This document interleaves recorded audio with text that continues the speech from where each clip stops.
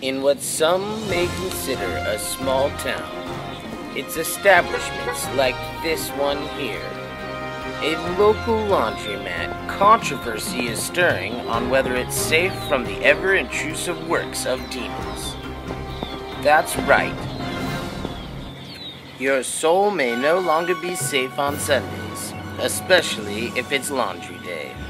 Well, when Laundromat first opened in 1953, it had locals shocked and outraged at what was considered to be nothing more than a high-tech brothel, which was actually vandalized several times to stop it from opening.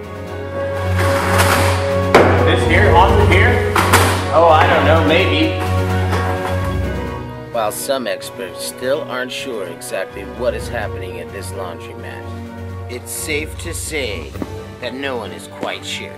Paranormal or just plain normal? You be the judge when taking into consideration the facts at this laundromat. Is it the devil's playground or a wholesome establishment where you can get your dirties clean? That might be haunted.